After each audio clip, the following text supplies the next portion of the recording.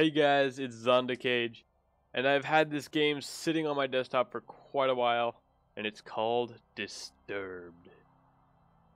Well, this is either going to be horror, creepy, messed up, obviously disturbed, and who knows what else. Let's find out. Another dull day passes as you struggle to manage your failing farm. Crops are beginning to wilt and your cow is sick.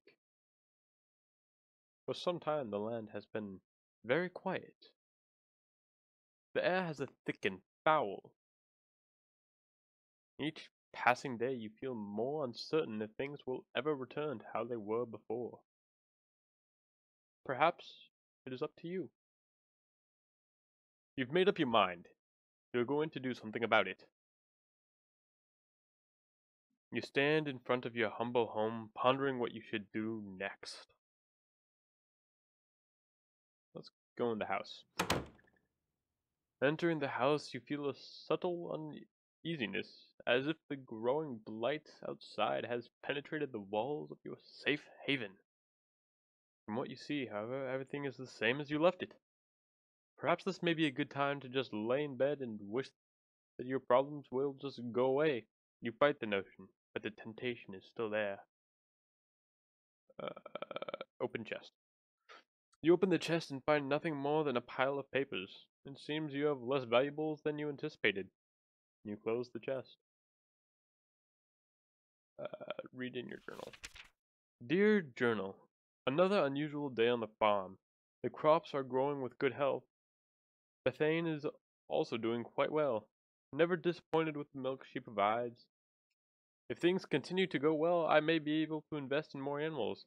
A farmer can only be so social with cow.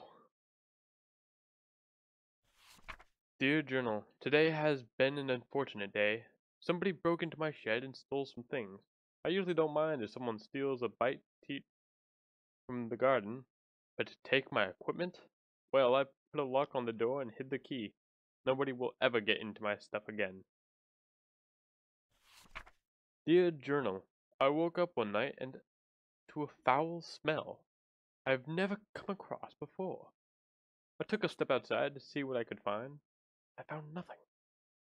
After searching about the farm, whatever it is, it must be bad. I should make up a trip into the city to see what this is about. Go back outside.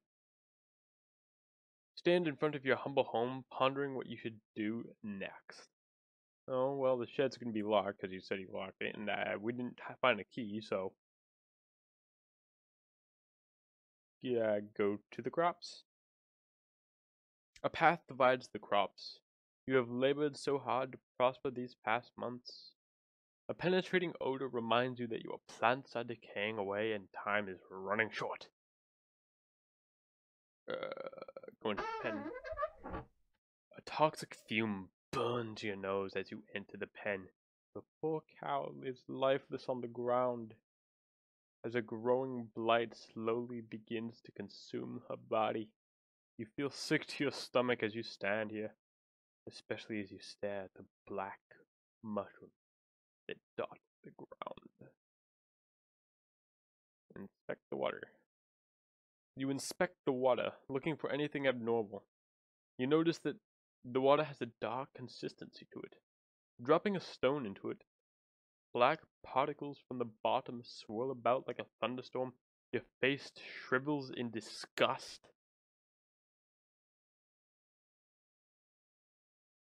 Grab a mushroom. You kneel down and grab a mushroom. As you begin to rip it from the ground, a cloud of spores sprays from the mushroom. Your hands begin to burn and melt as you observe them. Slowly, your body shrivels up into a dark, moist consistency as the poison spreads. You die, eventually, after crawling about on the ground. The adventure ends here. Wow! Okay, that didn't take long. We're what, four minutes in and we're dead from poisonous mushrooms that melted our skin. Yeah, no wonder this game's called Disturbed. Alrighty. We're five minutes, guys, and something tells me this might be a relatively short game. So, guys, we're going to go ahead and call the episode here. Next time, well,